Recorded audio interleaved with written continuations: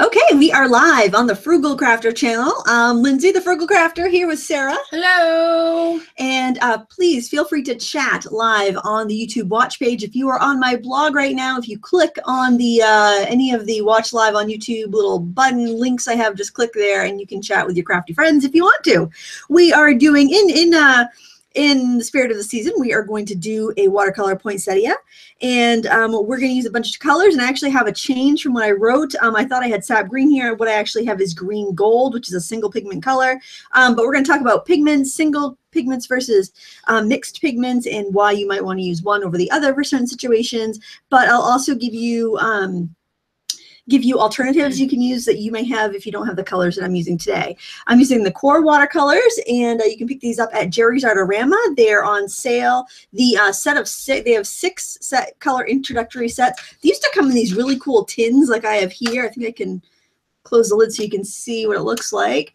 Um, they don't come in those sets anymore. They come in smaller ones unless you're getting the set of 24. But the uh, six sets are now, um, I think, $20.99, and they used to be like 45 So they're quite a quite a bargain, and I really like the quality of these paints. So uh, check them out. They're our sponsor. I have links to all the supplies I'm using and the reference photo on my website, uh, thefrugalcrafter.wordpress.com if you need further information. And there's a pattern of the sketch here of our uh, larger painting that we're going to do. So you can print that off and uh, trace it if you want want to. Now, somebody last week asked me, how do I get my painting onto your paper?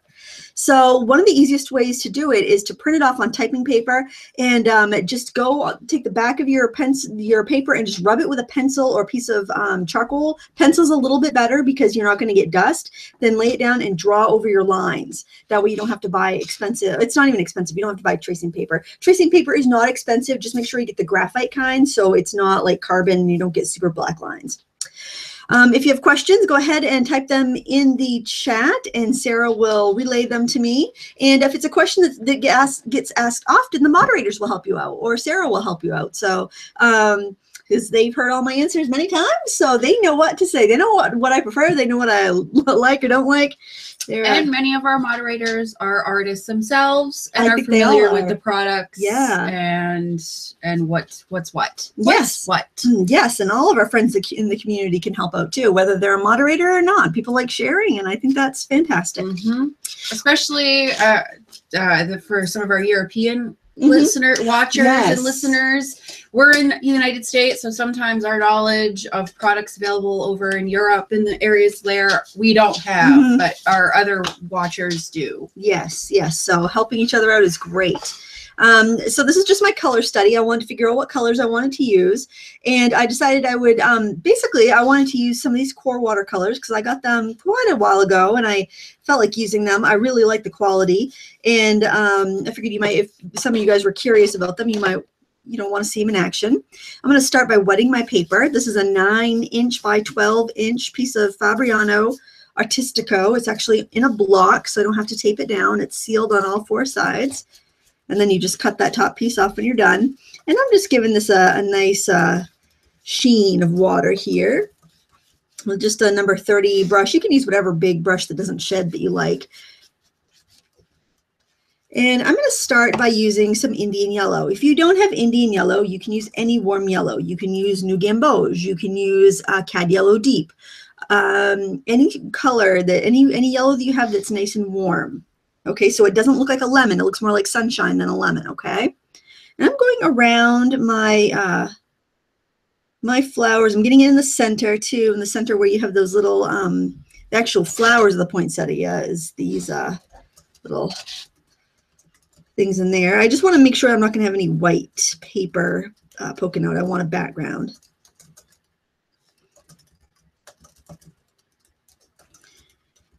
And this is a um, this is a mixed color. There are two pigment, three pigments in this color actually, but it's still a fairly vivid color.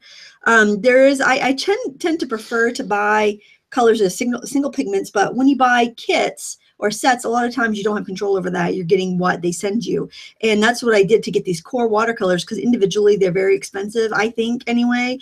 Um, so, but I really wanted to try them out. So I bought the introductory sets and I'm very pleased with them. And I was actually surprised to see how many of the colors were mixes because they didn't behave like mixed colors. They act very fresh and bright. And um, I think that has to, has to do with kind of the quality of the paint you're using. Um, a higher quality paint might have mixed pigments, but you don't notice it as much as you would on like a student quality paint. Now I'm going to add some green gold, and I have it listed as sap green on, in the video description, and that's what I thought I had. Because what I did was when I first got my paints, I squirted out a little dab of each of the colors in this the lid of this palette, and a little goes a long way, and I still haven't used them up, so I want to kind of use them up, and I thought that this was sap green, but then as I when I compared it to the sap green, like 30 seconds before I went on air, I realized that I actually had green gold. and green gold is a single pigment green. It is P yellow PY 129 if you're looking to match it up. But you could use sap green with a little uh, yellow mixed in it or just on its own because I'm going to have to mix this with indigo to get my dark, my more sappier color, which I'm going to do and add some of that into my background. And I can also put it anywhere um, that I have a leaf. Uh, Zach Penn, did Lindsay wet the paper before she started painting? Yes. Yeah, you want to wet it so that you've got a nice uniform sheen all over it add some of this light green anywhere I have the leaves, the greener leaves. Uh, Barusiva QoR five milliliter tubes, mill, milliliters, seem yeah. to be very small compared to Sennelier five milliliter tubes. Does it have to do with the weight density or something? Uh, it should be by volume. So it should be by, yeah, it should be by weight, or, or is it volume, milliliters? Uh, it's volume. Volume it should it should be the same. I find that little goes a long way with the QoR. Um, I think it's because it uses Aquazol as a binder, so maybe the binder isn't as thick as like the um, as like gum arabic. Now I'm going to use some magenta. This is PR 122, but you could also use a quinacridone violet or quinacridone, anything like a PV 19 would also be acceptable. And I'm going to put some of this on some of these red petals.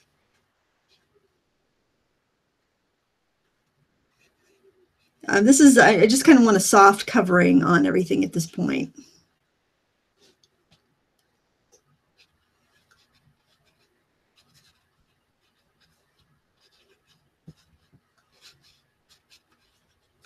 Paper is drying.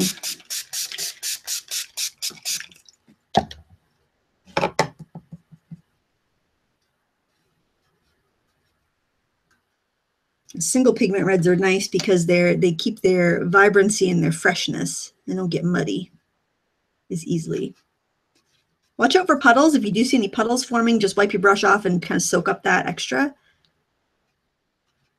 I'm going to grab a little um, alizarin crimson. This is a quinacridone alizarin crimson. You could use permanent alizarin crimson. You could also use traditional alizarin crimson. Um, just be mindful that, that that's a color that is known to be fade fugitive. but it's basically just a real crisp, bright um, red. Not an orangey red. It's more neutral, cool, if anything. Uh, Aaron Davies, when creating a watercolor palette, why do some watercolors crack? Because they don't have enough, um, they don't have enough like a glycerin or honey, a humectant in them. Um, generally, student colors will tend to crack. I think it's because of like the chalky. Um, I think some paints have like a precipitated chalk in them that that kind of gives them a little bit bit of body and extends them, but it also makes them dry out.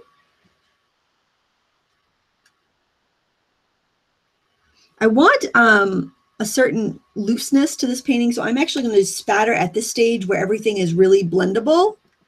And I'm going to do that with my big brush so that I have um, really bigger splatters. I'll try not to hit your nice white shirt. Oh no, this is this is okay. This is not a new shirt, and I got it on clearance. So if I get a little watercolor on it, nobody will notice. um, Sig Fam, does the temperature of the water change how the paints behave? Some people say it does. I really don't think it does. I mean, warmer water could make it move faster, but warmer water is more likely to break down the pulp in your paper, break down the um, the structure of your paper, so and and uh, break down the sizing. So I always fill my water buckets with cool water, but a lot of times it's room temperature because by the time I fill it and by the time I change it, um, I could have painted with it for a few days if it's not too gross because I have two water buckets. One bucket is for cleaning my brush and the other bucket is for getting fresh water. So, you know, you could, if you do a system like that, you can go quite a while without having to change your water. So I'd say room temperature to cool is best. uh, Grace Blosser, thinking of putting some paint into small containers to take on a trip from the Turner paints. What three or what three or four paints would you recommend? Oh boy, from Turner, I like the French Ultramarine. Um, I like the Pyrrole Red and Phthalo Blue would be my. Um, I'm sorry, I need a yellow. No, go with a permanent yellow, um, Phthalo Blue, and Pyrrole Red from the if you have the 18 set. Mm -hmm. Okay, so now I'm going to let this dry. I think I don't want that little sparkle there, so I'm just going to wipe it and let the colors flow in. That's up to you. It's You can totally leave it. It would be pretty. It doesn't really matter. But I've got some nice colors going on here. So uh, while I'm drawing this, if you have any questions, go ahead and ask because this uh, is going to take a minute. yep. Uh, Brenda Collins, Deeks, and Crystal are asking uh, about the word fugitive and how it, what it means in watercolor it means the same thing it does in other, like if you're a fugitive is on the run from the laws trying to get away, well, that's what your fugitive colors do. They try to get away. They try to fade away on you. Um, so a fugitive color maybe may fade away within 10 years, 10 to 20 years, I think. Uh, a Voltnik, how much water for the background? Do I always use too little or too much? It's going to depend on what kind of paper you have. If you're using a, a cellulose or wood pulp paper, uh, you're not going to need quite as much because it will pool on top of that paper. If you're using a cotton paper like I am, it's going to take more. That's why I had to spray it because it just went dry on me. I go for a uniform sheen. So when you paint on the water and you hold it to the light, it should look um, slightly glossy. Not like it should be dripping, but it should have kind of a sheen, like a semi-gloss to glossy sheen all over it.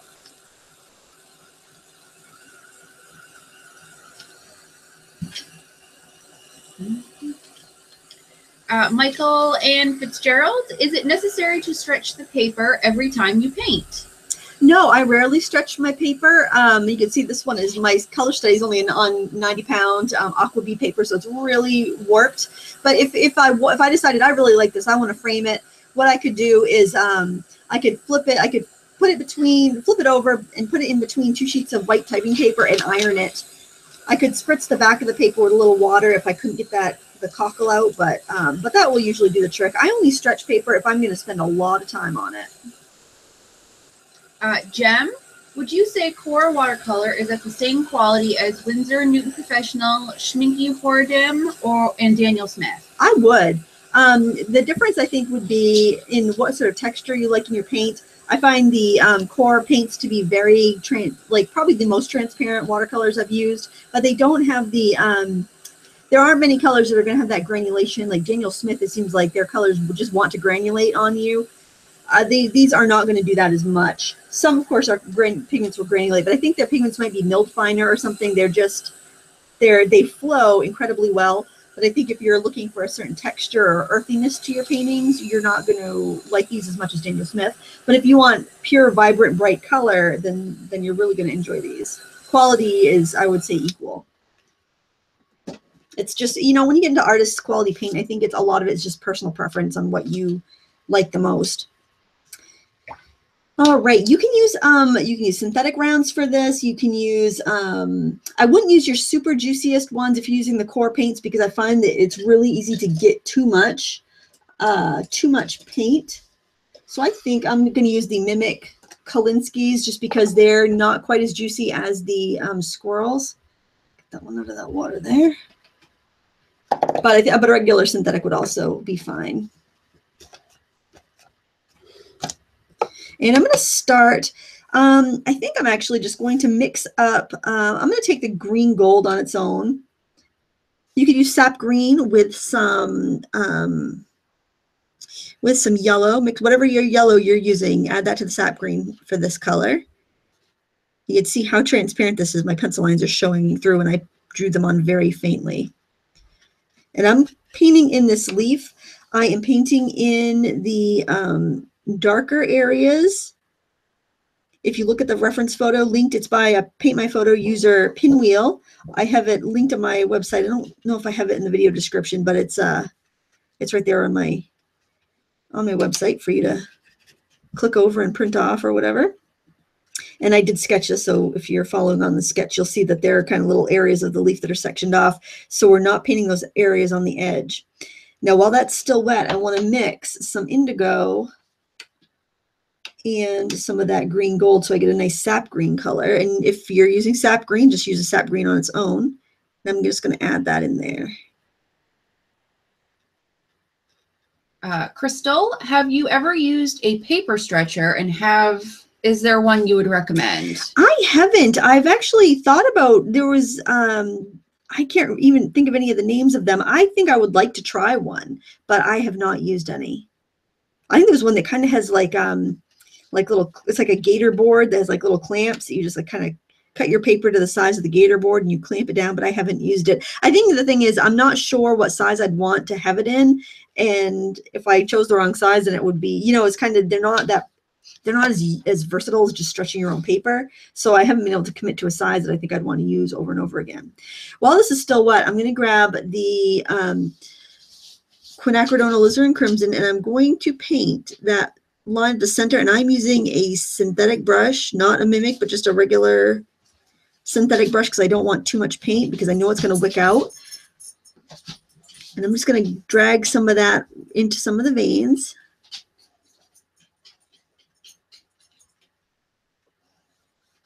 And it's neat because these these are leaves. Are the leaves are what turns red on the point poinsettia. So you have some green ones and some red ones, and they and then you see some that are kind of in between.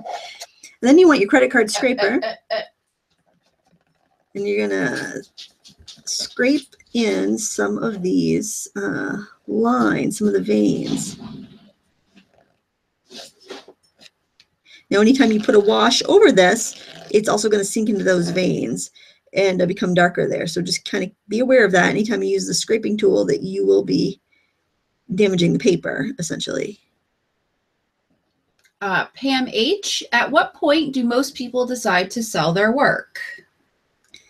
Um, I don't know. You see some people that just that never are never interested in it and um, paint very professionally and then you have people that just go right out right off the bat and and sell i think it just is more of a uh, more of a personal opinion some people just are not interested in it and uh, they just do it they just want to do it purely for enjoyment and uh, there's no rule there's no rule on it i would say if you feel if you feel like you want to try selling it go for it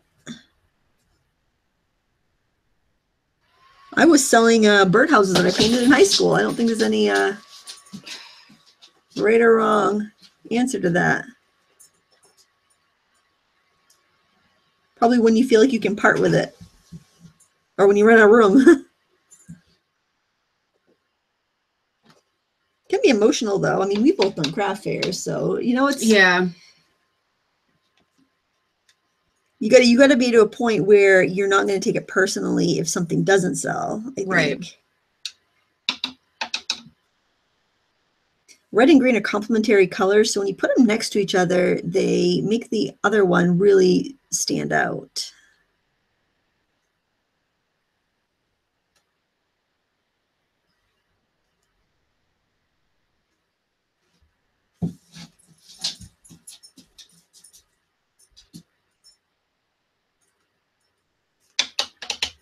If you need to soften the color, just wipe your brush off and set it right in there and, and soak up the excess.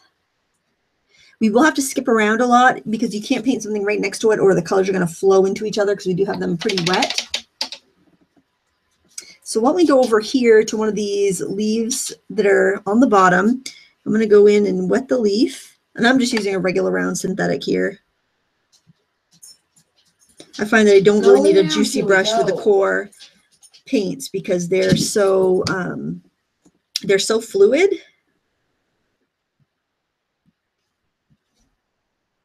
Uh, Fatima, would you recommend Daler Rowney student watercolor paint? Um, well, if you can, I've I've used the Aquafine, and the pans I found to be all right. I didn't care for the. I had a few tubes. I didn't care for the tubes, but I don't know how old they were, so it could have just been that I had old. Just say you didn't like them, Lindsay. It's okay. Okay. I say it. Nobody, I, nobody here. You're not saying anything bad. You just didn't prefer them. I don't. Yeah, I the pants I think are all right. I don't care for the tubes. It's okay. You can say it, Lindsay. um, but I wouldn't pay too much for them. I would. Uh, I wouldn't pay full price for them. They definitely use a coupon at a big box store. Hmm. or Jerry's actually has some good prices on the pan set. So yeah, go for that. But um, but I wouldn't. I I just didn't find the tubes to be a very. I don't think it's the same paint. I don't. I mean, I don't know. Uh, Michael and Fitzgerald, have you tried the QoR mediums? If so, what do you think, and are they worth buying? I haven't, you know, I rarely use a watercolor medium. I did recently buy some Lukas Oxgall just because I'm curious about it. I got the synthetic Oxgall, not the real, you know, ox gallbladder stuff, but um but no, I I really like I like what in the probably the reason I like trying so many different brands of watercolors, they have different proportions of things, and I like seeing how different ones behave. So no, I I don't usually use the mediums. I've used the I haven't used any QoR mediums. Um, I've used the iridescent medium from Winsor Newton, and that's kind of fun. And I've, used masking fluid. Um, but I generally don't use mediums. I do want to try their watercolor ground, though. I have used the Daniel Smith, which is really nice, but I guess the QoR stuff is really thick and only one coat. Slide the paint up a little bit oh. on my screen. It's just oh, cutting okay. off the, the Great. Thank you leaf a little me. bit there as we're getting towards the bottom. I must have scooched it. There we go. I think we're in in frame now. Yes, that's better. So that indigo I added in there really almost looks like a black with those colors. And I'm darkening this up because I have a layer of petals that are going to be up higher and I want them to stand out and be lighter. So that's why I'm letting these petals on this back row be a little darker. Uh, SigFam, what is the best resource for learning about pigments in paint? Um, there's a website called handprint.com. Um, I'm going to warn you, it's very intense. It's a lot of information. And I think the, I really appreciate the work the owner puts into it, but he's a little snooty. I think, you know, just the way he talks about certain brands, but, um, but that is a really great resource. And, um, our very own friend, the spin doctor has a good series on pigments on his YouTube channel.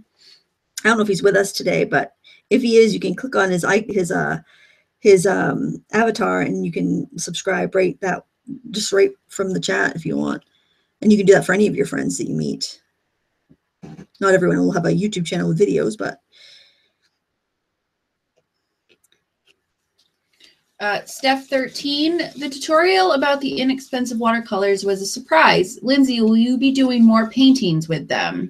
Yeah, actually, there's, there's a what pad of paper underneath that box. I'll show you what I'm posting tomorrow with those, uh, is it on there? Oh, I think it's the last one that's still sticking out of there. Oh, the poppy's right there. Oh, it's in the pad. it's in. It's the in the pad. So many options. So we'll be doing. Uh, this is with those cheap five dollar watercolors. This is going to be posted tomorrow on my YouTube channel. So, um, yeah, they were they were a wonderful find, and I do believe the same ones that Jerry's is selling under the Lukas brand, the opaque watercolor. If you go to Lukas Watercolors, um, and I think it's a Lukas Studio. If you go to Lukas Studio page on Jerry as an option, and, it, and you'll recognize what it looks like. So it looks like the set that I had. And then we're going to skip around. We're going to go to this one over here. I'm trying to tell if this is a leaf or a petal. I think I'm going to make this a petal because I think it will balance a little bit better that way. Actually, hmm, I'm deciding whether I want that to be I think I want it to be a petal, otherwise this is going to look like a lopsided flower. So we're going to do this the same way as we did the other one. We're wetting it. Our shadows are going to go next to where there's something overlapping. So we've got uh, petals overlapping there. So that's where our indigo is going to go. We'll start off with our lightest color, which is our magenta.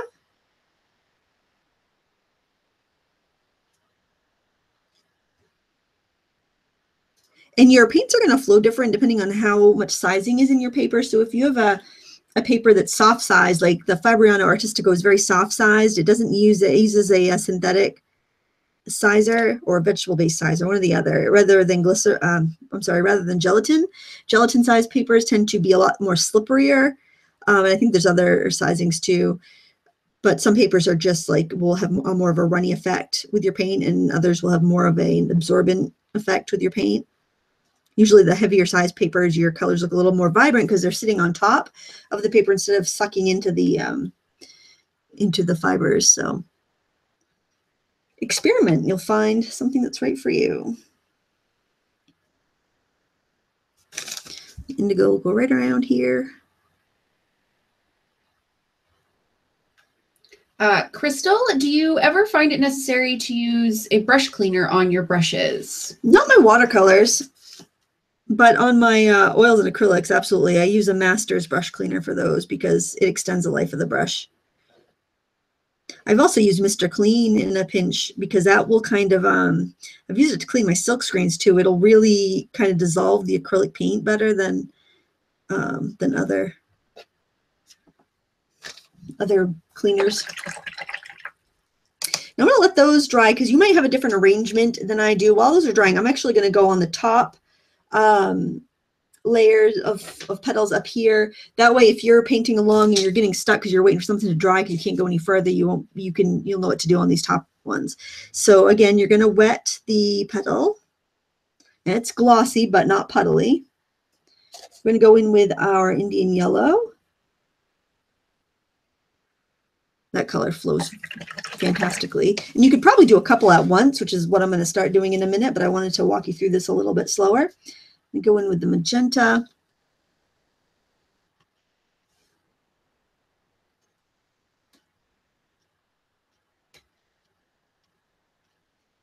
And we'll grab the crimson.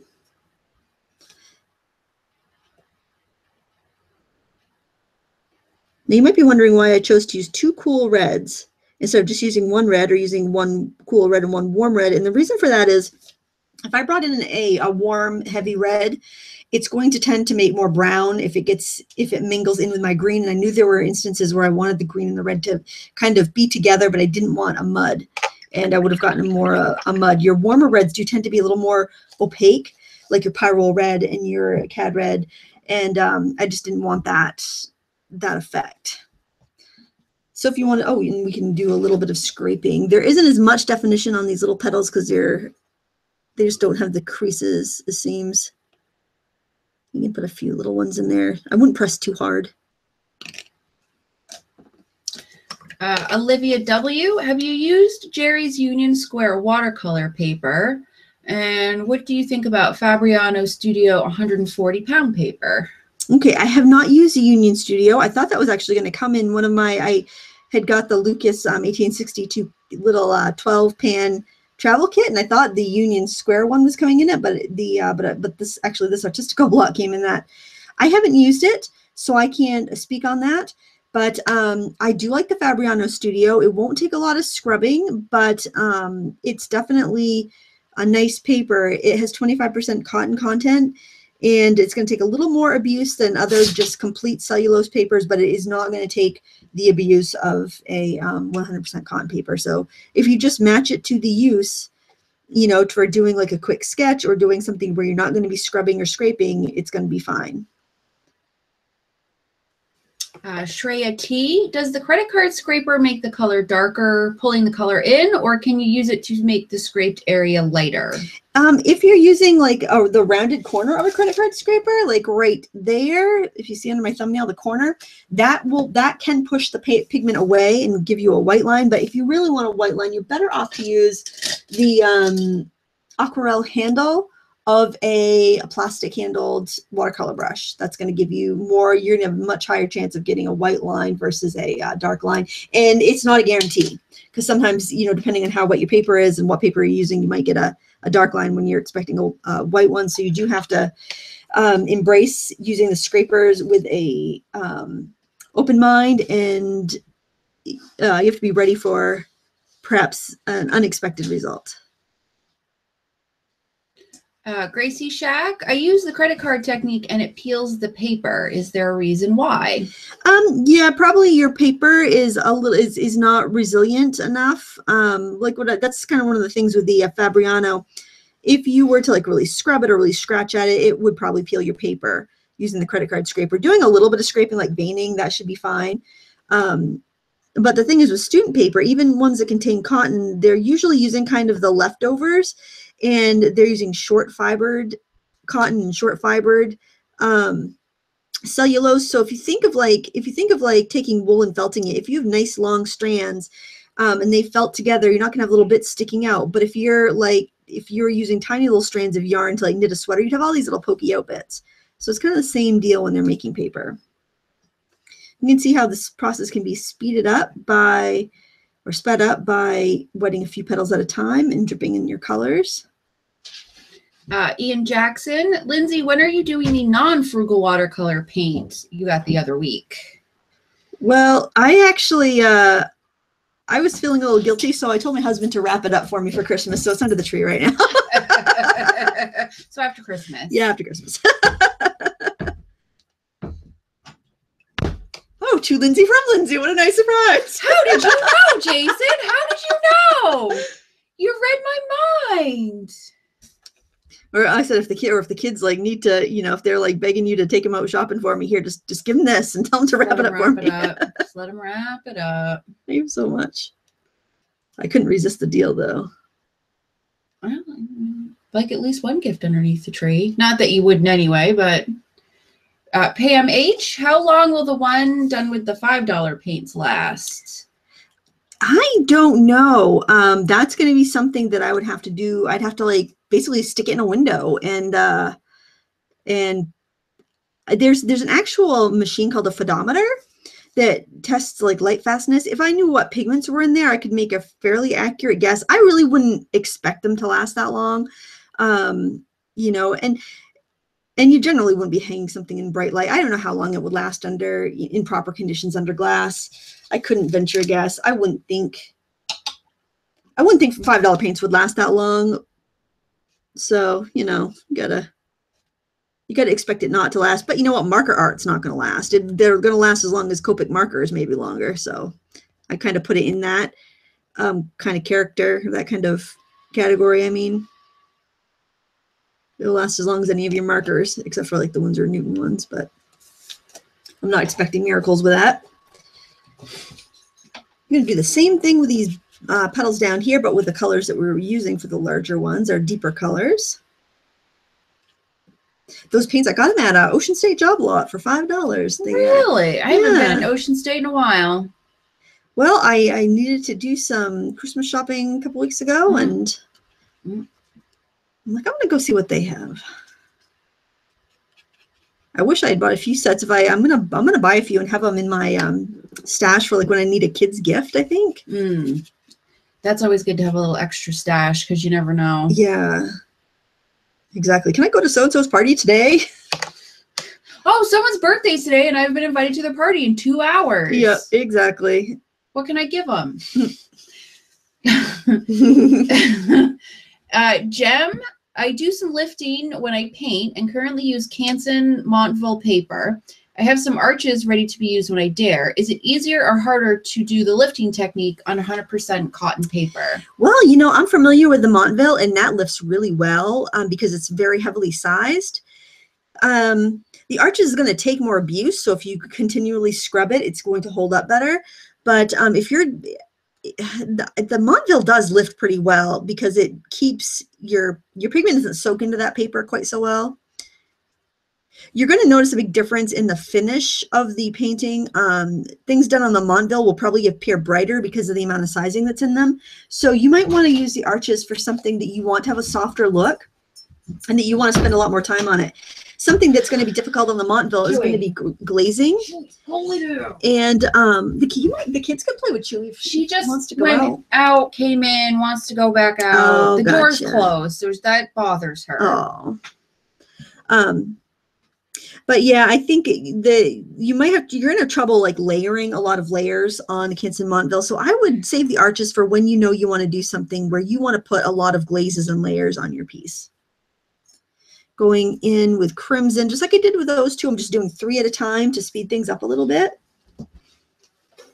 Uh, Shreya T, what watercolors did you start with? Today or in my career? Uh, I'm assuming in your career. Uh, Marie's Chinese watercolors. They're still around. They're cheap too. Well, I think the Chinese ones are a little bit more expensive than uh, than their than the uh, uh, they have like also they have just called artist watercolors, but they're uh, they're not a little bad little brand to start with. I think Jerry sells the 18 set for about 10 bucks, maybe, maybe not even that much. You just will if you put them in a pa uh, palette like this to dry, you need to add honey or glycerin to them because they will crack and fall out otherwise. A little bit of an odor. I'm not sure, but I've noticed that with certain Chinese paints, they do have a little odor. If you're sensitive, then you might not want to go with them. The Turners are a great buy. I still would recommend those. It's hard to get, or the Lukas, it's hard to get that get that quality for cheaper. Uh, Alex Sarah, I find myself stopping in the middle of a painting and moving to another one. I think it's because I get frustrated. Should I just push through and finish, or is it okay to keep jumping around? I jump around. Things usually don't do do well if you're pushing. No. Yeah. in many in many th- many yeah. different art art type projects, if you have to force yourself, it's probably gonna not come out well. Yeah, and you can always put a timer on too. Like give yourself a timer for 15 minutes and then then make yourself even if you're on a roll, make yourself take a little break at 15 minutes, come back with fresh eyes. Because I think a lot of times maybe we go a little too far because we're we're enjoying ourselves and then we realize, oh no, you know, now what do I do? And if you had just stopped like 10 minutes earlier, you would have not gotten into yourself into the predicament and a lot of times I'll have several paintings going at once because I'm waiting for something to dry. So I'll have like three little paintings going and I'll skip to another one. Uh, Nicholas Sully, I have almost used up my Winsor and Newton Winsor and Newton student pan set. I would like to patronize your source. Would you recommend the Sennelier 24 half pan set or the 12 plus 6 free artist grade for the additional money? Um, boy, that's up to you excuse me, I think both of them are um, are excellent quality. Um, you've already worked through a student set. You definitely deserve the artist set if you think that it's not going to be too precious for you to use. They're both excellent. Um, I think they both wear about the same too, because sometimes your student grades will wear down a lot quicker, but I think they're about the same in that respect. I, I think whatever your budget, whatever you're comfortable spending, whatever is going to make you paint. I didn't notice a heck of a lot of quality difference, honestly. I'd probably say go with the uh, the student set just because I didn't notice a big quality. And I would definitely do the 24. I wouldn't do the 12 because the blues, um, a couple of colors are kind of weak in the 12 set. Uh, Sig Fam, do you usually paint with the paper flat or propped up at an angle? Any reason one way is better than another? I usually paint flat because I usually get my painting pretty wet and it will run if I don't. I, I, like to have it on a board or on a block like this so I can tip it if I want to, but generally flat. All right, now I'm going to go into these little uh, flowers in the center and I'm going to start off with the green gold.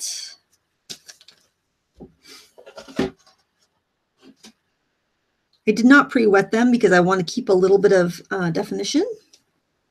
Just getting kind of the bottoms of these little flowers here. Uh, Steph 13, what is easier for you to draw? Looking at the object or drawing from something flat like a photo or paper?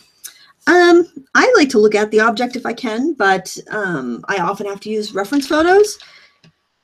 So I think it's better practice if you can get the actual uh, thing in front of you, but um,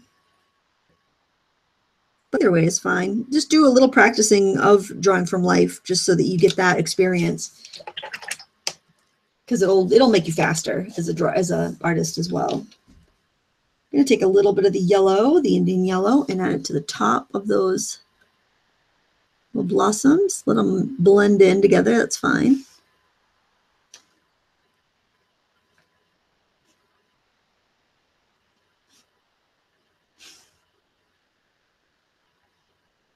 What's everyone chatting about? They all ready for the holidays? Uh, well, I'm really behind because there's a oh, lot yeah? of chat and questions. So I'm like, I'm probably a good three to four minutes behind in chat at the moment. Well, I think we have with Hanukkah and Christmas falling at the same time this year. And Boxing Day. Don't yes, forget about Boxing right. Day. That's a big one over in, I think it's in Canada and Europe, England. And now, is that the day you're supposed to box up all the crap you don't want after you've gotten all your good new Christmas stuff and know. Give it away. I think it's more. I think it's more like people hang out. I don't know. I'll wait and get caught up in the chat. There, and there's our little flowers in the center. It's very simple when you paint them that way because you are able to get all those colors in and keep them separate. I want to work on some more leaves and I am going to Um, I'm going to go ahead and wet like three of the leaves just so I can speed it along a little bit.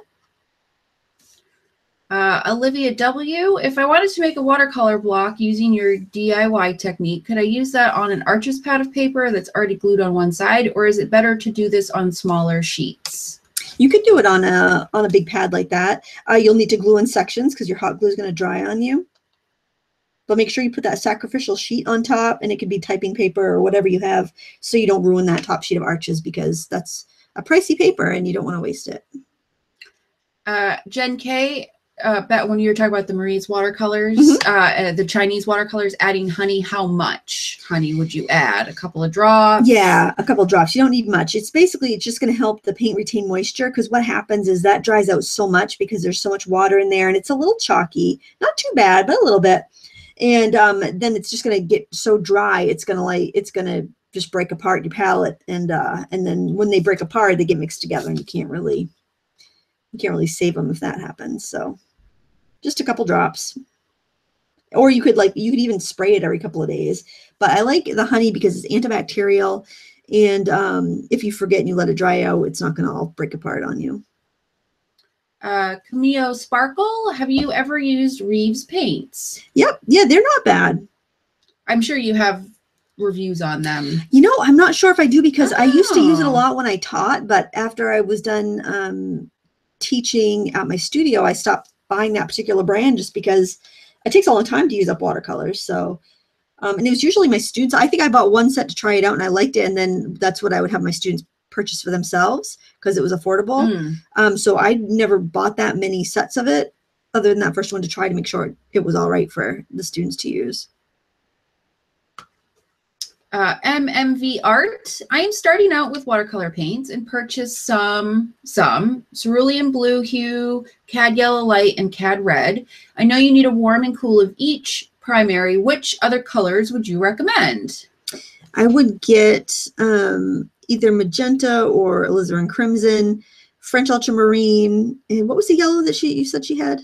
Uh, cad cad yellow light. Um, and I would get a like a lemon yellow. Wait, that's cad yellow light. That's probably close to lemon. Mm-hmm. Probably like a gambo new gamboge or cad yellow deep. And then cad red. Yeah, so if she has cad red, then she'll want like a alizarin crimson or a magenta or quinacridone rose. Quinacridone, just so you can say the name. Yeah. Quinacridone. I'm gonna name my next pet that, whatever it may be. Quinacridone, even Quinn for short. Uh, Bev Roberts, if a water soluble medium is fair game here, when might you get to reviewing the Mungyo extra soft water soluble oil pastels? Um, let's see, I've used them in a project already. Um, I could put that on the list. I guess I hadn't really thought of. I wasn't sure if I was going to review them or not, just because they're very similar to gelatos or. Um, so maybe add it to the request list. Yeah, that blog. would be great. That would be great if it's if you haven't already.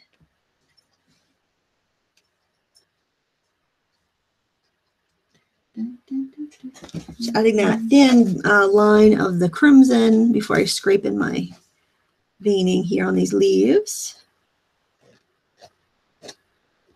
I like to get these colors in at the get-go because I might not need to do any more to them. So uh, it just saves a little time because sometimes I just want to add detail to a couple leaves and let the rest just kind of do their own thing.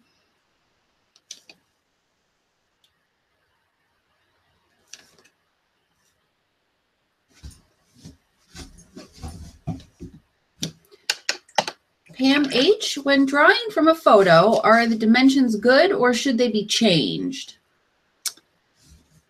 Oh, it depends on the photo. Um, it would yeah, depend on the photo, depend on the size of the paper you're using. Um, I usually, you know, I'll look at a photo, I might crop it, I might use just part of it, I might use a couple photos together. Uh, if the photographer uses a fisheye uh, fisheye lens, mm-hmm. that's going to distort the dimensions. So you might have to adjust for that. Yep. Yeah, the bottom line is it's your it's your artwork. You do whatever you think is best for your picture. Uh, Marcia Wolf, Boxing Day, gifts to people outside family, friends, I think. Oh, I had that completely wrong. I thought it's when you box up your stuff and you take it to Goodwill or your leftover stuff. Uh, Paul Adams, Boxing Day is a tradition started when British royalty gave gave gifts to their servants in Christmas boxes. Oh. Okay. So were they using up the old Christmas boxes? I wonder. And Dominique Designs, I was always told Boxing Days that after Christmas, when everyone boxes up all the presents they didn't like to bring them to exchange at all. that sounds like a terrible holiday. that doesn't sound like a lot of fun at all. That doesn't sound very. Uh, I don't know. It doesn't sound very nice. no, it doesn't. Uh, Deanna Ju- Jubia-. Jubiati? It's Italian. I'm sorry. I'm, I'm not saying it right. Uh, what is better, Lukas or Schminky watercolors? Um, Schmika certainly got a bigger price tag. Um, I have used both. The formulations are different. I find that the Lukas has a heavier formulation. The minerals feel it feels like you're you're putting on a heavier paint. And the the Sinel, the Schminka, right? That was the other one she asked. Yes. Or Sinelia. Schminky. Schminka. Um, Someday I'll pronounce them all oh, that's right. all right. I did, people pronounce them differently, so who knows?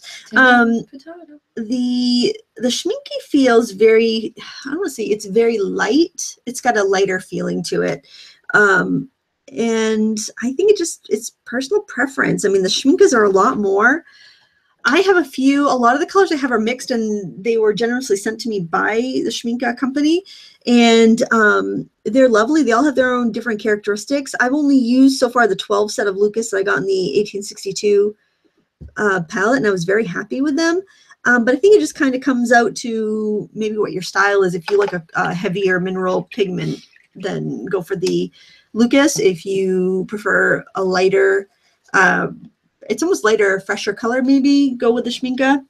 And if you don't really know what you like, you, you just want a good value, then go with the Lukas because they do have a theirs are a better value, I think. Uh, Michael Ann Fitzgerald. When stretching the paper, is it necessary to use watercolor tape or can you use artist tape? If you're just taping down your paper, you can use painter's tape or artist tape or uh, masking tape, whatever. I use Dollar Tree masking tapes. It's not that sticky. It works good. But if you're stretching it, you need a gummed tape. It doesn't have to be sold to be an artist tape. You could get it from a butcher shop or you get it from a postal uh, packaging place. But um, it's got to be a, uh, sorry about the weird angle. I'm just moving this so I can get to it a little bit better. But it has to be a, um, a gummed tape. So it's like a dry, it's got a dry adhesive on it that it doesn't become active until you wet it.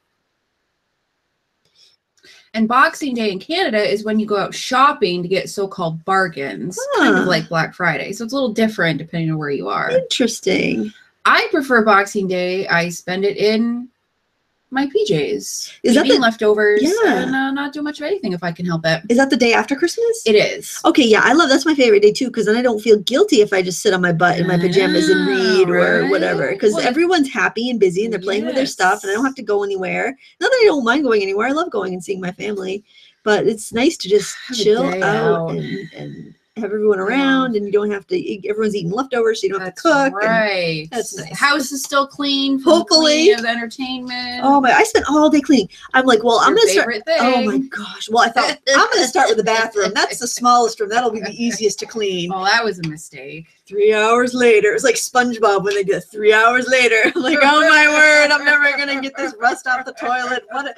Why did I neglect it so long?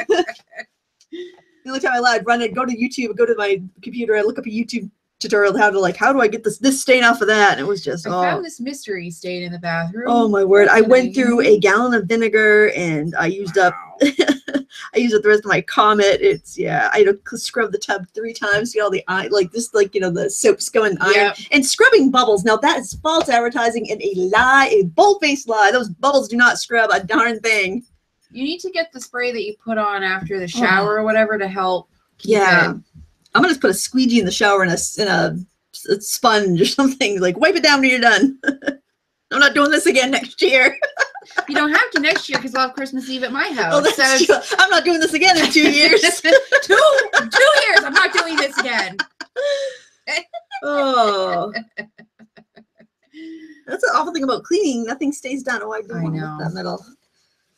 Do not wet the flowers in the middle. That was we painted those dry before. That worked See, very this is what happens when we start talking about cleaning Get all and upset. cooking, and Lindsay just her brain starts to shut down. Yeah, it's very upsetting. very traumatic. She's gonna need an extra glass of wine tomorrow night to help. I've told everyone no stepping on the white tiles in the kitchen floor. We have a black and white checkerboard floor, and we had to scrub that with it. Okay, the kids helped me when they got home from school. I'm like, you guys got to help me. I'm like, I'm toast here. well, they they helped yeah. dirty it up. They can help clean it yeah. up. So I'm like, step on the black tiles only. Don't step on the white tiles. All right, I'm going to move to these leaves. I'm going to turn my painting upside down. It might look better that way too. You never know with some something like this.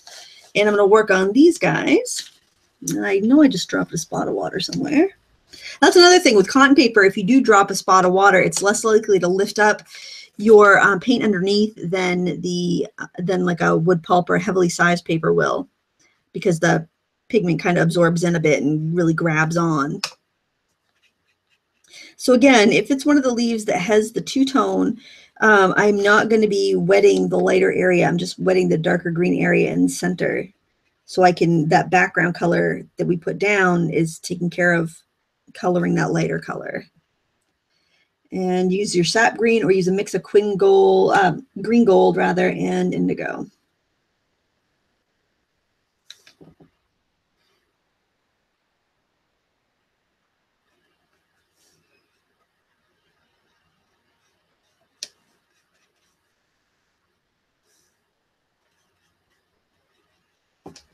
Uh, Tanya Miller, have you used the Gansai Tambi paints? Yes, yeah, I like them. They're a little different than a traditional watercolor, but um, I like them for mixed media because they are a little more opaque and you can layer them. They're thicker. Uh, once you wet them and you, they're really hard in the palette, but once you wet them, they get very uh, thick and creamy, kind of like a gouache, but they have a sheen to them, unlike a gouache. Gouache is more matte. They actually have a little bit of a resiny sheen to them.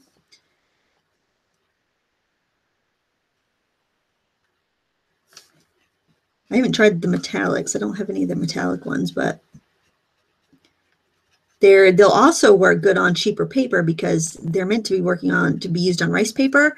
So your paper doesn't have to have a great sizing on them to be successful with that. So I think that's why stampers and scrapbookers really have taken to those paints because you can use them on regular cardstock or whatever you're using without any trouble.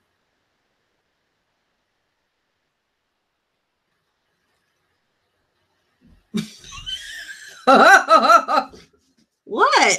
I'm missing something in the chat. Steph 13. Lindsay, will you someday make a tutorial cooking something fun and easy? Oh, you do not want to see that. you do not want to see that. Uh, no, Steph 13. Um, Lindsay, Lindsay's top 500 things to do in life does not include cooking. not her, not her bag. Nope yeah, I flaked out on the uh, the mom the mom friend cooking uh, cookie swap last weekend. I'm just like, you know, I love you all, but nobody wants my sad vegan cookies. No, you're right. nobody wants your sad vegan cookies. I mean, I when I I mean, you like the cookies I made last year, mm-hmm. and I did try them, and I was like, oh, oh, I don't like those. John, and but John was like, oh, those are pretty good.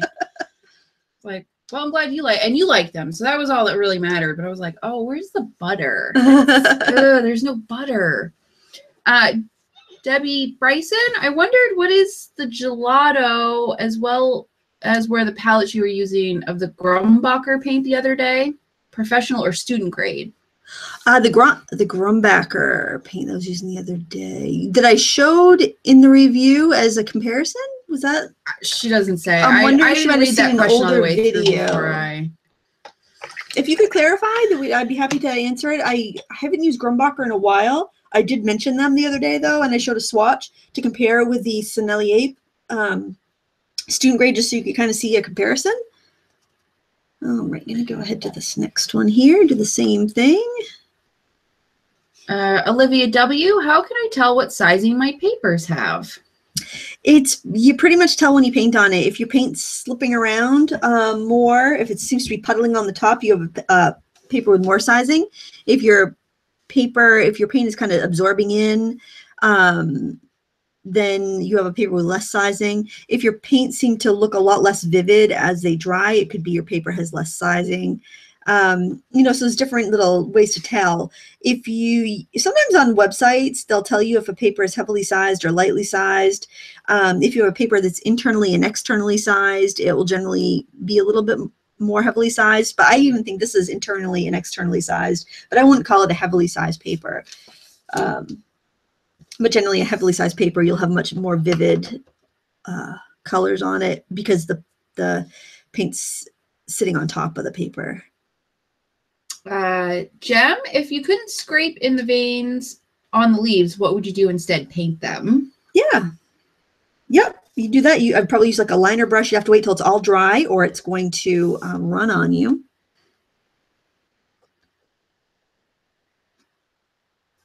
Like to do these little lost and found edges with the tip of a surround brush in the red just so that I get a little bit of definition, but I, and I get a little bit of that contrast in color, but I don't want to put, uh, I don't want to just outline it. I don't want to look like a cartoon. Something else, if you have a, I'll show you, can show you here, because this is a pretty heavily sized paper. You can see all these little blooms. I think you can probably see them pretty well. It's like a bloom right there. Um, that's that will happen more on a heavily sized paper versus a lightly sized paper. This 90 pound Aquabee is quite heavily sized. Their 140 pound Aquabee is, uh, it seems to be lighter sized, maybe because they use the same amount of sizing for both weights. I don't know, but it, that definitely has more, the 90 pound definitely feels like it has more sizing.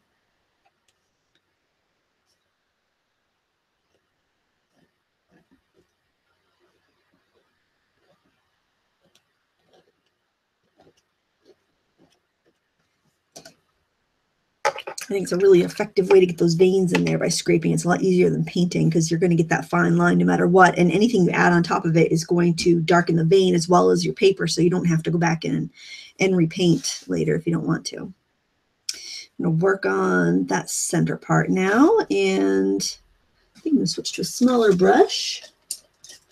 I'm going to start again like I did before. We're going to go in with the green. So go with your sap green or mix uh, green gold and indigo. We're going to paint the bottoms. And we're on dry paper. And our paint is not really that soupy. It's pretty uh, medium consistency.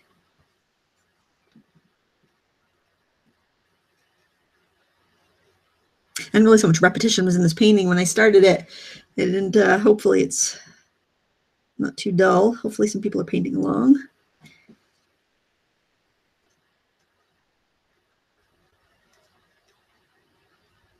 And then we're going to grab the green gold on its own.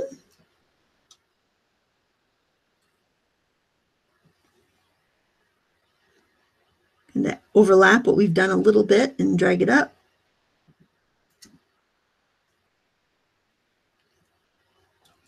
Rinse your brush and grab the Indian yellow or whatever yellow you've been using so far. And finish off each of those shapes with the yellow.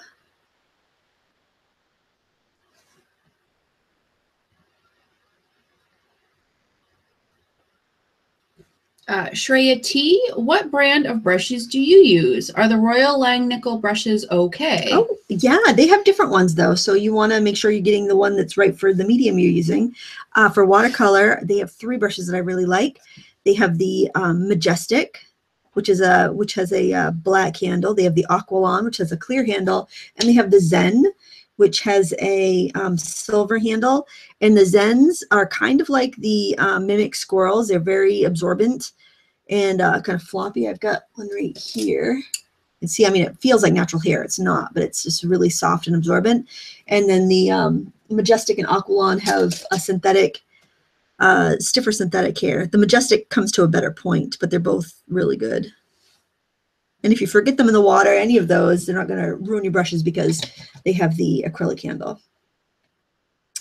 And I'm going to grab a smidgen of the crimson, and I hardly want any water on my brush at all because I'm going to be putting it on the, um, the wet paper.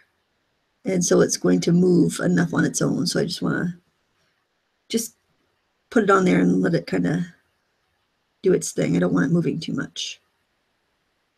Ellen Kashk, Uh, ever do you ever scrape inlines first before any paint is used? I usually don't. The paper would need to be wet, um, and I it would be hard to see where where I was putting my lines if I didn't have some color there to to float into them. But there's no reason why you couldn't. It would just be kind of tough. Let's do it on this one. We'll try it. We'll see how it how it goes. All right, so let's try that little experiment. I'm gonna wet this leaf, this uh, petal. It's gonna be red. Oops, I got a water drop. Oh, so I have this frugal tip that I just discovered this this uh, week. I don't know why I didn't Ooh, think of this frugal earlier. tip. Yay. Yes. So I eat a lot of apples and a lot of vegetables and, uh, and fruits, and I wash them before I eat them, and then I usually just throw the paper towel away. But instead, after I wash my apple, I'm throwing the paper towel in a little um, little container at the end of my counter, and then I use that to wipe my brushes and to blot my paper and stuff. Oh, that was a good idea. Yeah. That's an excellent frugal idea. So sorry, paper, you might have some pesticides and germs on you, but My fruit does not. fruit does not. Okay, so let's see. I've wet that. I'm going to try scraping in my veins beforehand.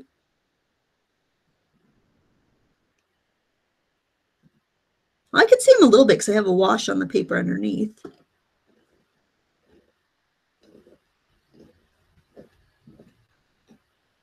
Okay, now I'm going to add my color. This will be exciting. See what happens. See what happens. Let's see. Go in with our magenta.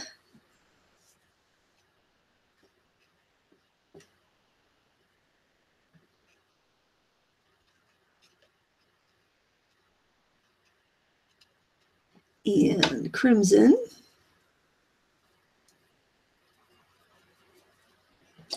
Uh, Debbie Bryson, I believe you had a $5 palette you compared with Grumbacher, student or pro.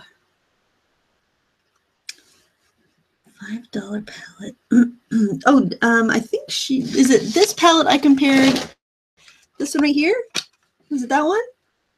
That one I compared to the Grumbacher Pro, the Grumbacher Deluxe Opaque, which was like $47. And I found those to actually be better than the $47 Grumbacher.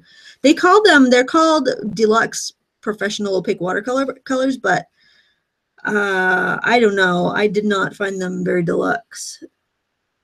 I mean, they were fine, but they, they would be fine if they were $5, but they weren't fine for $47. I and I love the Grumbacher Academy. I think they're really high quality for student paints, but I didn't like that uh, that paint at all the, from the Grumbacher. But I like that the five dollar cheap paint, which I found to be very well. It was very comparable to the Grumbacher forty seven dollar paint. I guess. I mean, I just don't think it's a good deal if you have to pay if you're paying forty seven dollars for it. I think it's kind of a waste of money at that price.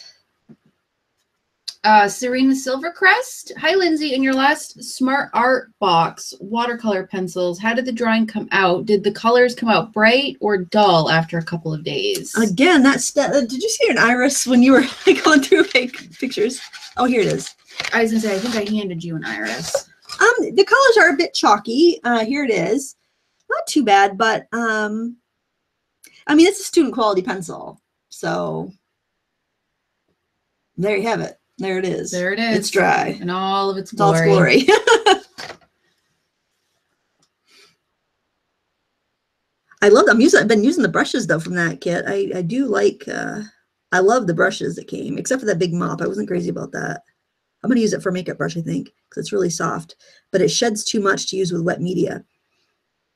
Because what happens if you have your paintbrush sheds, you're the picking at it to get the paint bristle out of your painting and you're scratching your picture with your fingernails or you're letting it dry and then brushing it off but then the water the paint pigment's going to cling to that strand and you're going to have these dark lines in there so so it's not you don't really want to use a paint brush like that to paint with it's going to be very frustrating um, now I'm actually going to make the choice to paint this one next because even though they're touching, because I think it will be cool looking if the colors float into each other there. So I'm making that choice.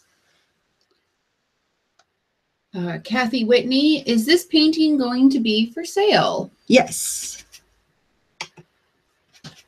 Um, you uh, can well you can email me if you're interested. I sell my live stream paintings for fifty dollars, and um, that's payable via PayPal. If you're within the United States, I ship it for free, and it's first come first served. So The first person to email me after a live stream gets it.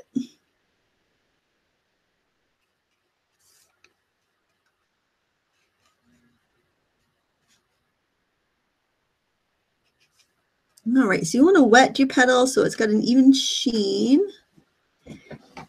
And I haven't wet quite up to that other petal yet because I just kind of want to control that a little bit. And I'm still going in with the same colors, my magentas.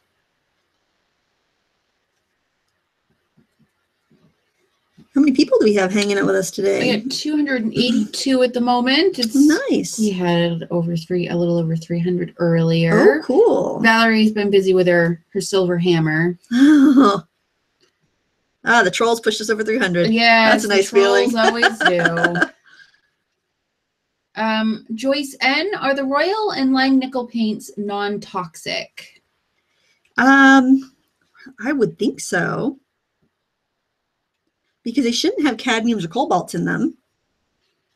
That'd be something you probably could check on the on their website. website. Yeah.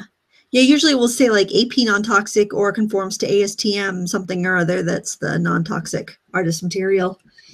I don't remember the number off the top of my head.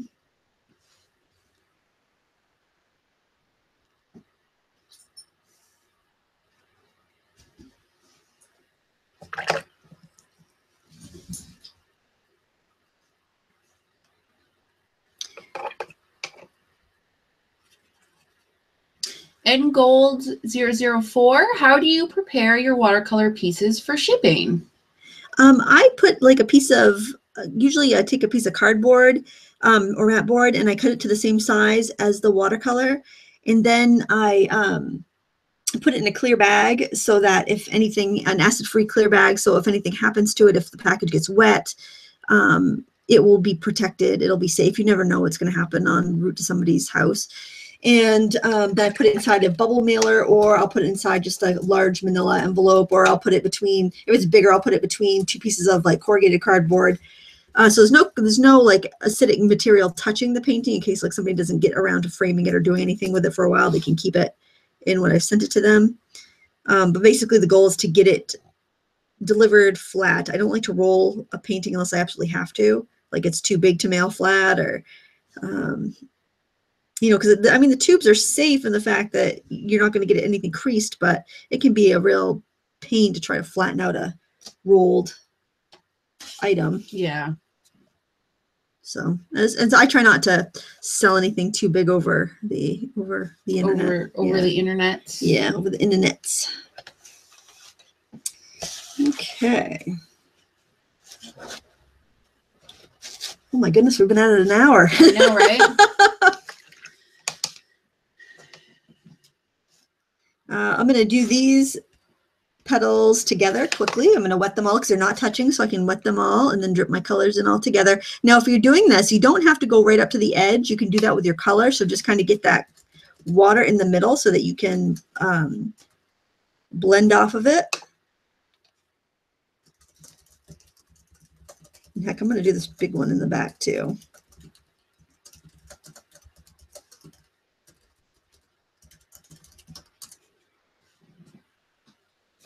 Going with our yellow because this is the top layer. So we've got our Indian yellow.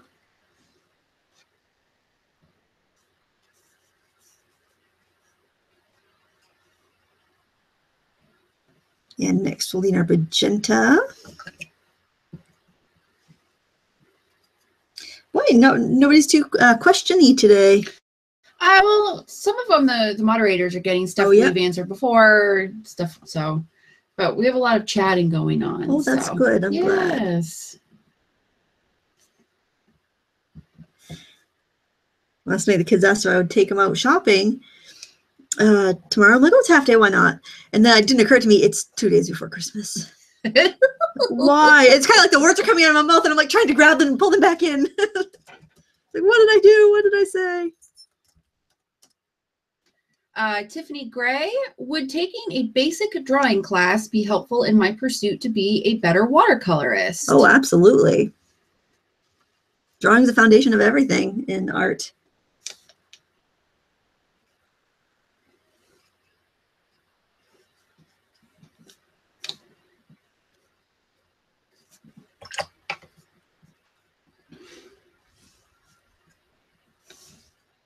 And now we're going in with a crimson.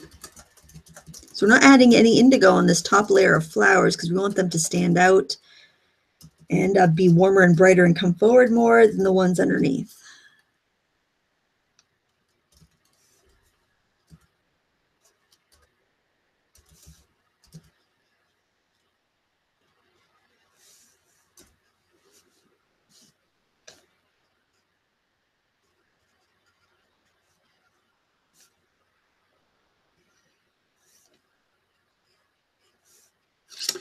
Ian Jackson. Lindsay, would you do some of the fine detail work with watercolor pencil now?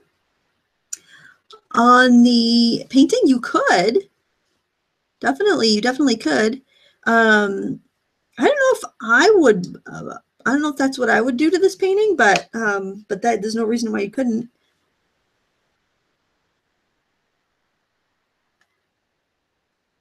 Uh, oh, Abby Vander Plume is this paint is this painting also beautiful without a background? Oh, I think it would be pretty without a background. I like having that that extra color in there, but and then I don't have to worry if I do spatter by mistake that I've kind of got I got something under there that it's not going to be noticeable. It's really hard to put a background in it after the fact too, so I just wanted to get it in because I was pretty sure I wanted. And Chewy is alerting us to non-existent threats. It's probably the mailman or the UPS guy. involved in some way,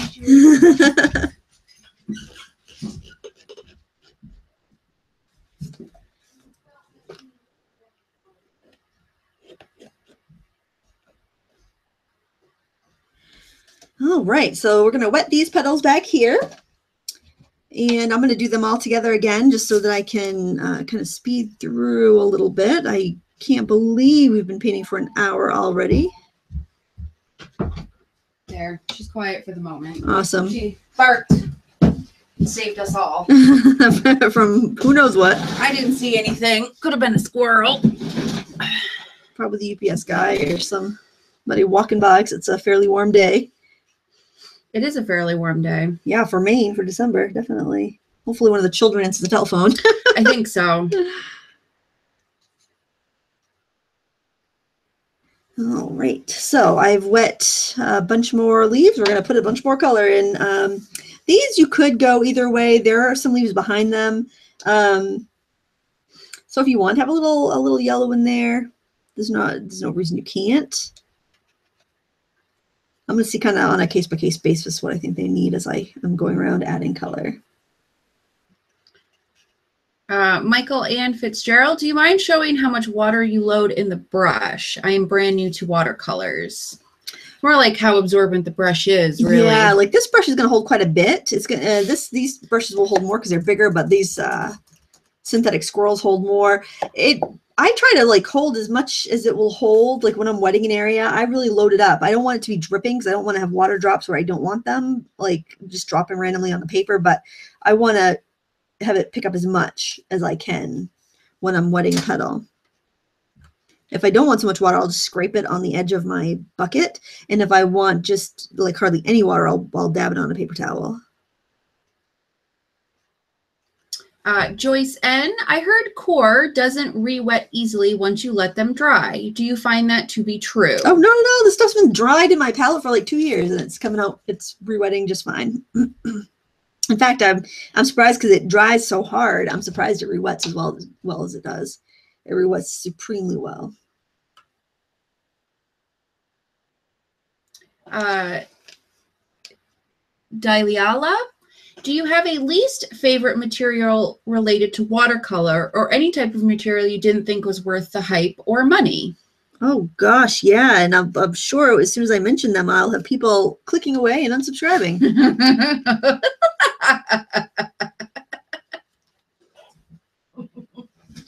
Probably. Yeah.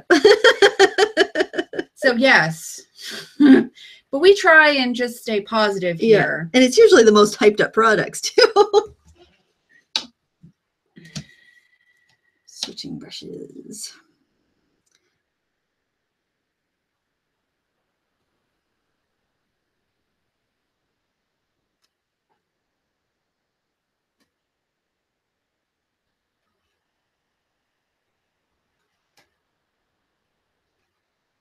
I like to uh, not quite go out to the edge when I wet a petal and then go out, then uh, take the color right out to the edge. Then, then I get a lot of uh, control and crisp detail.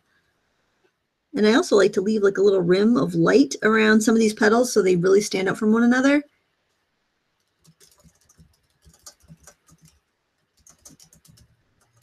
Like there, I just wanted to get a little more pigment, so I just, I didn't dunk the whole brush and I just dunked the tip in the water just so I'd get, have enough to moisten the brush so I could pick up color it's something that comes with practice and um, and the only way to really get a handle for it is to paint. I mean, you could learn the theory, but you got to put the brush to paper to really get the feel for it. And that's another reason I like to I like to find good cheap paint because then you don't worry so much about ruining it or wasting it if you're or it being so scarce if it's expensive and you're new.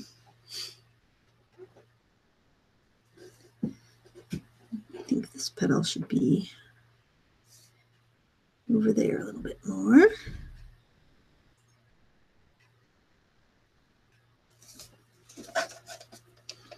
It is funny how it's all not funny, but the, all the colors are really starting to come together now. Oh, thanks. I mean, it was because a minute ago I didn't know what the heck you're doing. Lindsay. No, no, but you know how you say every painting goes to that part where you're like, oh, is Ooh, this gonna come yeah. together? And now it's all come together the bad pancake phase. I don't really like pancakes. Sorry, I probably just somebody hit unsubscribe because I don't like pancakes. Sorry about No. I am offended. I'm offended. I am offended. I will never watch you again. You don't like pancakes. I don't. I'm an omelet person.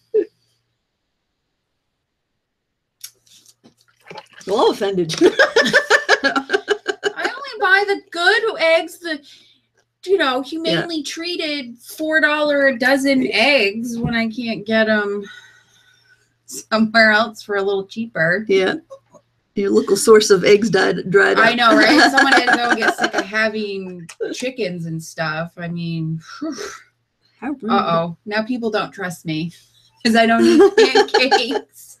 See what I tell you? John eats pancakes. Does that count? He would eat all of the pancakes for him and I. That's it. John's coming in next week. John, that's it. John's now on moderator duty.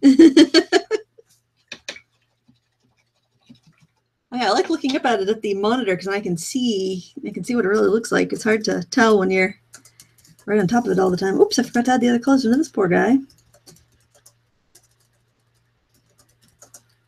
Um, if you are interested in the QoR set, the first set I got was the high chroma set, and that's the set with the really, really bright colors. Um, I would recommend starting with that because that I think shows off the property and the the unique features of that this particular line of paint. Um, you'll be able to see what kind of what makes it a little bit unique. I think better with that set, but uh, but they're all nice. They do have a set that has 24. Um, there's three sets of six. There's one set of 12 and one set of 24. The set of 12 is going to give you duplicates within like the set of 24 would contain all of the colors. So if you bought the three sets of six and the one set of 12, you'd end up with six duplicate colors. I just want to let you know that if you were going to be picking up, um, if you're trying to decide what set to get, I just wanted to help you avoid duplicates. Not that you wouldn't use it up, but I mean, I've hardly made a dent in just a little dabs that I've squeezed out. Uh, Debbie Bryson, what color are you using for the shadows on the red?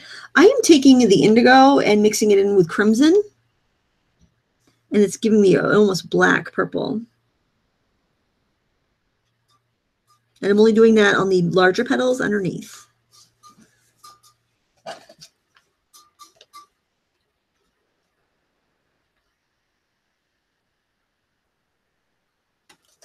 Oops, I totally at that petal. I'm gonna now sometimes you might um, forget about something and you have to re-wet it because it's dried too much for you to add more color or to do your scraping or whatever. And that's what I'm doing right here.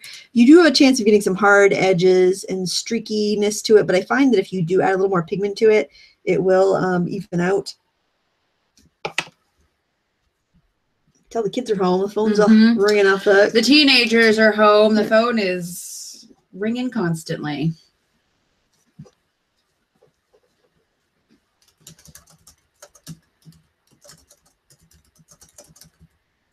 You do have to rewet a petal though. You do lose some lose some of the lose some of the vibrancy because the colors mix together more than how you originally put the paint down.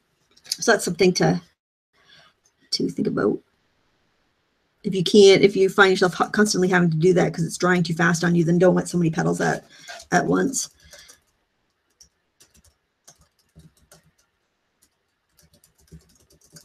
I got a Christmas card from my old art teacher. Oh, you did? I did, and she sent a print. She made a print of a lighthouse, Pemaquid lighthouse that um, she painted in December one year, and it's a wreath on the door. It's really pretty. That sounds nice. Yeah, it's hanging up. I should have brought it in here. Could have shared it, but um, yeah, it was nice. I sent her a card with a a copy of my Christmas cupcakes that I painted. Mm, oh, Christmas cupcakes. Yeah. So now I'm going to go in through here. I got a couple other little shapes that um, are leaves. I think I'm saying I think this one's definitely a green leaf. I'm just trying to just trying to decide what I want these, what I intended these lines to be. I think that was a green leaf. You got a lot of cards this year? Uh yeah, from the usual yeah. usual people. So I was late on getting my cards out, but um, you know, that's okay. Did get them out. Oh good. Yeah, mine were out late. And you know, the direct family that I'll be seeing over Christmas weekend will be getting them hand delivered mm-hmm. instead of in the mail. Nothing wrong with that. Uh, Sig Fam, what is one painting supply that you would say would be worth spending more money on? Brushes if you're a watercolorist brushes because they will last you. Um uh, yeah. I'd say paper too but i think sometimes with paper you get a little too precious and you you are afraid to use it but a brush you can't you're not going to use it up you know? Mm. it's kind of like a rubber stamp you're not going to use it up. Right. You know buy that stamp that you want instead of some bargain one that you're never going to use um, and I'm going to paint this one here too, because I think it might be nice to have some of these background leaves and petals kind of blending into each other.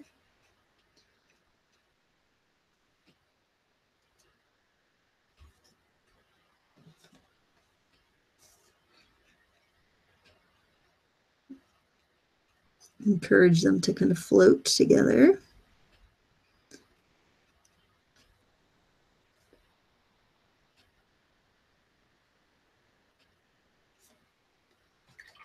We're getting close to the end now. Well, I have to go home and make try that vegan peanut butter cup recipe Ooh, for dessert. Um, that's exciting. I know. I was excited if I was like peanut butter cup. Uh, Pamela Stevens, have you ever heard of Blue Bento watercolors? No, I haven't. No. Sounds fun though. It does sound fun. Sounds like a little bento? lunch, like bento, like a sushi. Like a bento box. Yeah. Ooh, I want a bento box of mm. watercolors. I didn't check into that. Somebody report back to me on that. I want to know more because I need more watercolors. Uh, Sig Fam, to follow up, what size brand of watercolor brushes are most worth the investment? Um, I'm a really big fan of the Mimik Faux Kolinsky, um, not Kolinsky, uh, well, I like those two, but the uh, Faux Squirrel. There's a set. It's not, it's, um, it's a set. It's like $29, I think, but I can show you the brushes that are in it because I have it. That's probably my pick for the bed just because you get a lot you get a lot more than if you were to buy these individually uh, i think there's another there's a couple more rounds in there i love a number 12 round in this brand because you could get such a really fine point and that's this here i also like the um the number eight round um, there's also a liner. There might be others too, but this, uh, I think it's like $29. And I would think these are I would think these are worth more like 100. I thought the set was more like 100. I told somebody they were 100 before, and then I looked and they were 29 on Jerry's. I would get these, but and I would also get something with an aquarelle handle like uh, this right here this is a Royal and Langnickel Aqualon. You want something like this because it's really handy if you're painting, you don't have your credit card scraper because you can scrape out white lines, you can dig in lines. This is better for scraping out lines that are lighter than scrubbing in lines that are darker. It's just very handy. And if you leave your brushes in the water, they're not going to get ruined. Um, the other ones will. The, the If you leave the brushes in the water overnight, they can get ruined. But um, these that won't happen to these. So if you're forgetful, get something with the acrylic handles. But um, either of those are good. They're not terribly expensive, but you know you, they're they're more than what you buy at Walmart. You know they're they're a good brush. Uh, Daliala, is there anything you wish someone would have told you when you told you about watercolors that you eventually found out yourself? Um, hmm. You know, I don't I don't think so because I think so much of the the pleasure in painting with watercolors is getting to know the pigments and it's kind of like somebody telling you the end of the movie if they told you everything about it. The fun is learning it on your own, I think. For, for a lot of things. So I don't think there's anything. I, I always enjoyed every little discovery, and I think you could paint for the rest of your life and always learn more about watercolor. It's one of those um, evolving mediums. You know, you can learn enough to paint with it in a day, but you could. It's like hobbits. Watercolors are like hobbits. You can learn everything you need to know about them in a month, and yet a year from now they'll still surprise you. what? It was just a random comparison. That's not in a bad way. Um, I'm Olivia, quoting Gandalf. Olivia W. Do you recommend buying watercolor paper pads in bulk? I do this, or buy the rolls sheets in bulk. I buy sheets in bulk. How often slash when do you feel you need to restock? Oh boy, I actually I'll I'll buy if I saw a great deal on arches tomorrow, even though I have, you know, several reams under my bed, I would buy some because um because I know I'll get to it. Should this be red or green, do you think? Let's put it there. Uh, do we need some more green? Yeah, a little more green, green? I think. Okay. Yeah, because I think if you do red, it's gonna blend in. Yeah. Oh, is that my finger in there? I was like, I'm not used to, yeah, it's a lot of red right there. Yeah, I'll do some green. Um yeah, I'd buy it whenever you see a good deal on it. Mm because it's not going to go bad. It's right as long as you can keep it from getting humid or getting, you know, as long as you have a temperature control. I wouldn't buy more than you could store in your house where it's heated. Mine does not go in my basement studio. Mine stays under my bed in a big flat file that somebody found me at a yard sale once. And um and yeah, I mean, I probably have 20 to 22 by 30 sheets. I probably have 100 sheets under my bed at least. It's not going to go bad. So, no, no, as long as you keep it dry and flat. Yeah, dry and flat and keep critters away from it. Uh, Palette Junkie, I missed the brand you were comparing to Daniel Smith paints regarding graininess. What was the clearer, smoother brand? I would like to use some clearer colors. Uh, the, these QoR are very, oh, I was saying Schmincke too. These, I think these QoR are clearer than Schmincke. It's almost like the particles are ground finer or something, but Schmincke is also very clear. Uh, Tiffany Gray, Regarding watercolor charts, I don't understand in mixing colors how you can ever replicate that color again without a recipe. It's you just you just learn to to see the colors. You you'll know does this need a, like when you're tasting. Well, I I assume when you're cooking, when you're you know you taste something like oh this tastes funny, it needs more of this, it needs more of that. You know, you know if something needs more salt, something needs more oregano or whatever. You would just you would just know after building up experience doing it.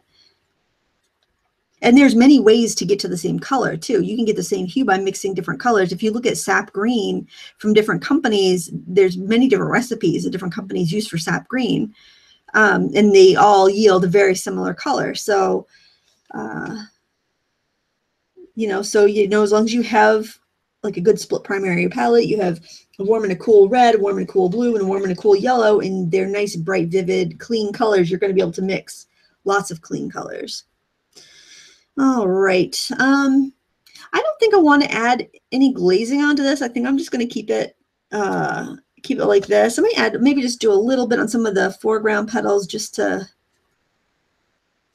just to bring out some colors. Make the veinings veins not seem quite so stark. Just taking some crimson on its own and just dragging some in. Whatever transparent bright red you've been using is good for that here and there if you think your your uh, like your veinings are a little too stark.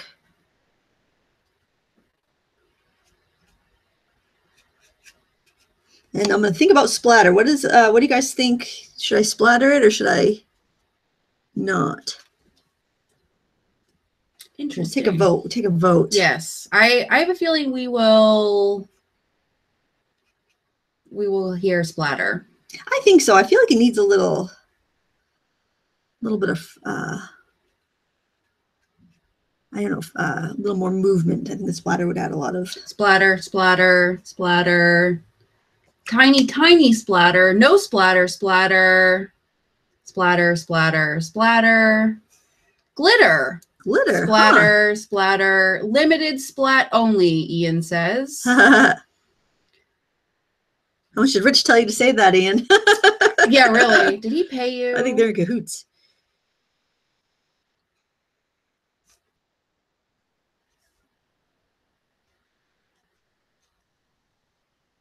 You can also add a little bit of um, color on the edges of any of those leaves if you feel like they were a little too uncolored.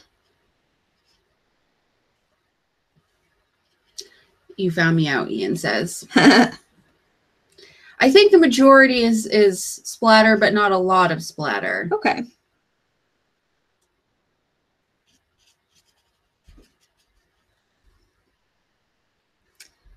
We just want to do a little bit to the some of the leaves.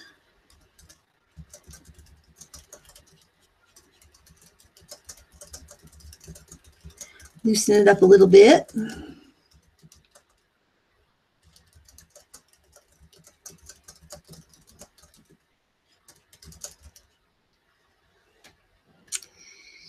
Okay, hopefully I won't splatter my camera. So if you want little splatters, there's a couple different things that, you can do to control the size of your splatters without having any fancy tools. Um, one thing is to look at how floppy your brush is. So brush that's really floppy like this is going to give you bigger splatters. So I do want a few bigger splatters. So I'm going to load that up with, um, with a green gold and a little bit of that indigo. And you do need a fairly wet brush for this. So see, I'm getting fairly big ones. And then if I want some medium splatters, I'll take a medium brush. I think a round brush works good for that. Let's try that one. And I think I'll do some crimson.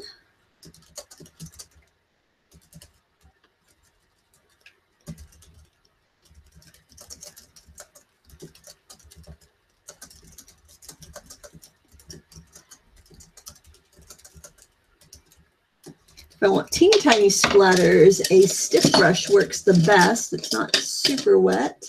I usually have a toothbrush in here for that. So, um, Jen K wants to know what happens to your splatter tool. I haven't used. Oh, oh, this thing right yeah. here. This, this would get bear splashes. Let's that try would that. Be, that wouldn't be splatter, little splatter, but do it. It's Christmas. I'm afraid I'm going to get it on the camera because the camera is like a foot away from, is a foot above the painting. I, you know what? I think I need to load this up with a brush because I'm just like. See, if you had some um, metallic-y watercolor paints, a little metallic. Oh, that would be very good for Christmas. Okay, so gold on there. Oh yeah, that gives some nice big splatters. And you can always blot it up um, if you get too much while it's right after you put it down. So I'm actually painting the the stuff right on that on the uh, back side of this because there's little channels in there. And it pretty much all comes off with one splat when you do that. And you still have the splatter effect, but without the yeah. And people think gold would be a good idea. So gold maybe next time. Next time. Yeah. Huh, I don't know my little uh I don't know my little toothbrush, spattery toothbrushes. Probably downstairs. Probably. I could use this. This is a really stiff brush. I could use this to spatter on a little bit of green or blue. Do that indigo maybe. Do a little bit in the center. Oh, that's so little you can't even see it. There we go, a little bit, not a lot. There. Well, there we have it, guys. Uh, should I dry it? Do you guys want to see it dry? Yeah, they do. All right. Well, if you have any questions, go ahead and, and, uh, and ask them while I'm drying here. Whoa, whoa, whoa. Did you lose the questions? No. Um, Ian Jackson, what about the stiff rods thing that acrylic painters use? Uh, for spattering? Yeah. You mean the stiff brush where the uh I'm gonna say that's what he means, yeah. That you turn it and it's like a bottle brush, you turn it and it does a, a fine spray. I actually have one of those. I haven't um I haven't tried it out yet. I think it'll give you about the same as like a toothbrush. If that's the if that's the tool. And everyone is, is loving people are loving the splatter. Oh good. Yeah, this is kind of cheerful. I kind of like this. Yeah, it's nice. Nice and Christmassy. Relaxing for the Christmas holiday. Yep. I got wrapping to do. I was thinking yesterday, I'm like, oh, I'm gonna have the whole house clean by 1.30 and then I'm gonna wrap all my presents. Oh my word. 12 hours later.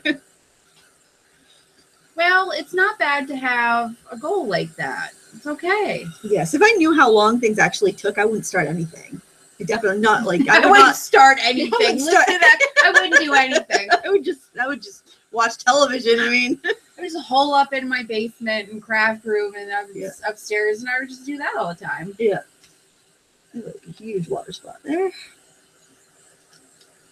Yeah, thank goodness I'm an optimist because if I knew that bathroom was gonna take three hours to clean, I would be like, oh, whatever. Oh, I forgot a petal. I'll have to paint that. Whoops. How'd that happen? Any more questions? Uh, no, people are uh, people are just uh, Tiffany Gray is a floral designer. I can tell you this is a very accurate painting of what this plant looks like. Oh, cool. Yay. Uh, BKBRP64, are you going to glitter it? My poinsettia on my desk has glitter all over its leaves. Oh, that's pretty. I don't know. I don't think you don't. And that's oh, somebody had asked about mediums. The reason I don't use the glitter medium or the iridescent medium very much is because once you get it in a paint in a frame behind glass, you usually can't see um, any of the shimmer. You know, when once you've got it flattened out behind glass. Uh, Ian Jackson says it's like 10 long rods strapped together. Hmm. The Oh, thing that oh, oh! use, I haven't used that. I know what you mean. Okay, yeah. And Tim Holtz just came out with one, but no, I have not used that. But it's kind of the same idea. You've got these plastic, uh, these plastic rods are going to give you Hmm. random splatter, or probably like a medium-sized splatter, because Mm. it's not going to hold that much that much paint because of the size of it. All right, I'm just gonna give that a little blot, and there we go. Yay! Any final questions, or are Um, we good? no, I think we're good. Everyone's All just Merry right. Christmas. Awesome. Talk about you're not the only one that sells presents to wrap. Oh, that's good. I got little gift baskets to make, and I'm gonna be busy tonight. I think I'll probably just put some Christmas music on and Yeah, pour myself Yeah. a merry glass of something and uh, get some wrapping done. yeah. Well, I want to thank everyone for hanging out today. If you need any of the supplies that I used, check out jerrysartarama.com. Oh, they've got a really good um, end of the year closeout overstock clearance sale going on. I actually bought supplies for my workshops next year because the prices were so good. Um, so if you are looking for something to stock up for next year, if you're a teacher, uh, wouldn't hurt to look around, see what they have, or if you've been, you know, waiting to buy yourself something, then uh, check that out. I also want to let you know that the last big sale of the year at Craftsy is happening this weekend. All classes are $19.99 or less. There's a link in the video description. Um, I think my class is on sale for $14.99 and it's a great time to stock up. You could buy somebody a gift for Christmas. If you, you know, forgot somebody on your list who's an artist, you could quickly, with a couple clicks of a button, buy them that gift and uh, and you give them the you give them experience. You give them the gift of knowledge of learning how to do something new. And uh, they have all kinds of stuff from quilting to sewing to painting, cake decorating, cooking, woodworking, everything. Every every kind of crafty thing you can think of, they have. Thank you guys so much for joining us today. And uh, are we are you going to be free next week? Are we going to do? I'm planning on it. All right, It's, cool. uh, New Year's Eve Eve, All so right, I yeah. might I, I might come over with a Bloody Mary to That's have fine. while we're doing it. But That's fine. yay! Sounds good to me. We'll see you guys next week. Thank you so much for watching and Merry Christmas, Happy New Year, Happy Hanukkah, Happy Boxing Day. Happy Boxing Day, and Happy Crafting.